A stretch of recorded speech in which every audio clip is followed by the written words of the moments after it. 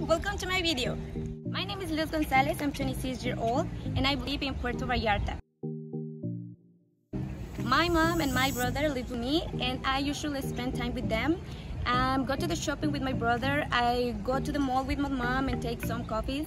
And uh, I love to go to the beach also with them and my daily doggies. I'm currently working in a vacational club. My position is hostess, so I'm in charge to um, check the welcome of all the couples.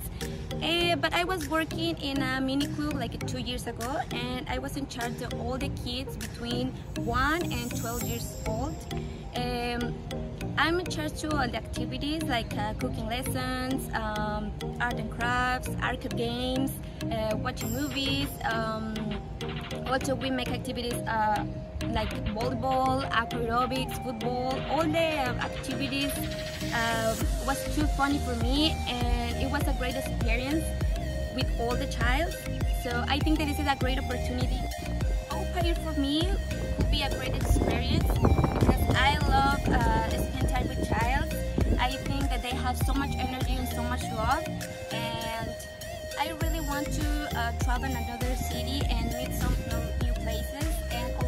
meet another culture. So I really hope that you choose me for your for being part of your family, and I hope you see you soon.